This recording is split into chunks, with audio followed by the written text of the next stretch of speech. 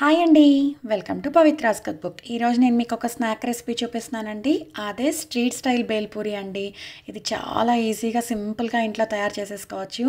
వర్షాకాలం వచ్చేసింది కదండి. ఈ వర్షాకాలంలో కారం కారంగా ఇలాంటి బేల్ తింటే చాలా టేస్టీగా ఉంటుంది.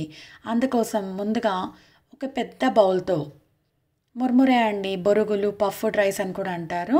మనకి ఇవి సూపర్ మార్కెట్స్లో ఈజీగా దొరుకుతాయండి. ఇవి ఒక కప్పు తీసుకోవాలి. ఇవి బాగా క్రిస్పీగా ఉండాలండి. ఒకవేళ క్రిస్పీగా కనుక లేకపోతే ఒకసారి ప్యాన్లో ఫ్రై చేసుకొని యాడ్ చేసుకోవాలి. ఇప్పుడు అందులోకి సన్నగా చాప్ చేసి పెట్టుకున్న ఉల్లిపాయ ముక్కల్ని యాడ్ చేసుకోవాలి. తర్వాత సన్నగా చాప్ చేసి పెట్టుకున్న టమోటా ముక్కల్ని కూడా యాడ్ చేసుకోవాలి. వీటికి మెజర్మెంట్ అంటూ ఏం లేదండి. మీకు వెజిటేబుల్స్ ఎలా కావాలంటే అలా యాడ్ చేసుకోవచ్చు. తర్వాత సన్నగా గ్రేట్ చేసి పెట్టుకున్న క్యారెట్ తురుము. సన్నగా చాప్ చేసి పెట్టుకున్న పచ్చి మామిడికాయ ముక్కలు. ఒకవేళ మామిడికాయ ముక్కలు లేకపోతే స్కిప్ చేసేసుకొని మామిడికాయ ముక్కలకు బదులుగా లెమన్ని యాడ్ చేసుకోవచ్చు.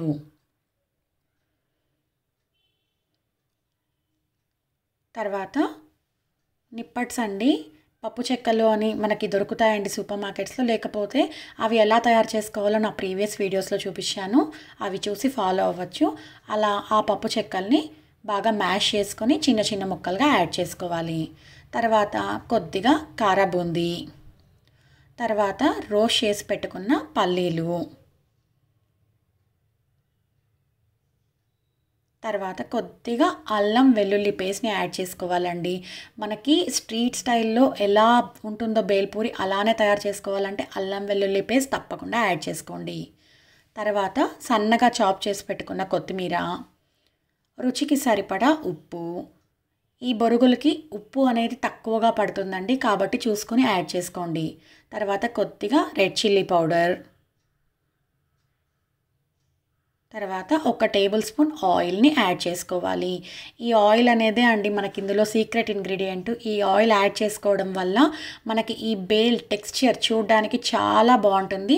అండ్ మనం యాడ్ చేసుకున్న ఆ రెడ్ చిల్లీ పౌడరు సాల్ట్ కూడా బొరుగులకి బాగా పట్టుకుంటుంది. ఇలా అన్నీ యాడ్ చేసుకున్న తర్వాత బాగా మిక్స్ చేసుకోవాలి.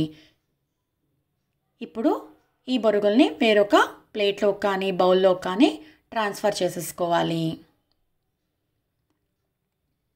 చూస్తున్నారు కదండి ఎంత ఈజీగా ఐదే ఐదు నిమిషాల్లో మనము ఈ బొరుగుల్ని తయారు చేసేసుకోవచ్చు. మసాలా బొరుగులు అంటారు పిడత కింద పప్పు అని కూడా అంటారు.